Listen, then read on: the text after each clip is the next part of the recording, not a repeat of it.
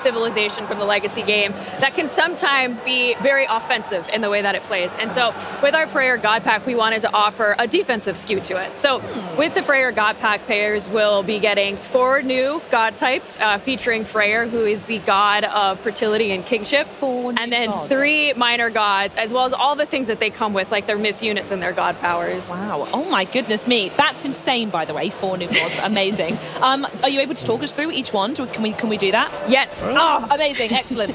So we have Ullr, who is the god of archery, and his myth unit is a Draugr, which you may see in the film here. Um, the Draugr is an awesome myth unit. Uh, he's an undead archer, and his arrows can pierce multiple targets, whatever is in his line of sight. We have Aegir, who is the god of storms, and his god power, he has a horrifying hailstorm that will slow everybody down, and it's very frosty. Um, and he is one of the best myth units, which is a rock giant, and if you upgrade him, he can eat buildings, and he will. ah, God, I love this game. And our mythic Wow. age god is uh, Vidar, who is the god of vengeance, very appropriate for the mythic age. Um, and so his god power, he calls upon Fenrir, which is a, a mythological wolf.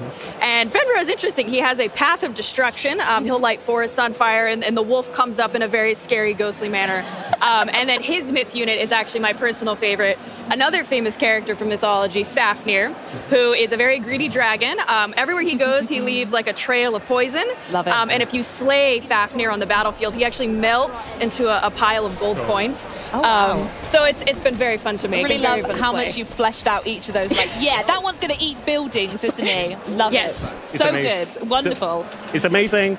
Just want to do a quick reminder that uh, Freyr is going to be part of the premium edition of the game. Uh-huh. So if you want Freyr and all the both the major and minor gods, so definitely get the premium edition. And by the way, if you get the premium edition of the game, you also will be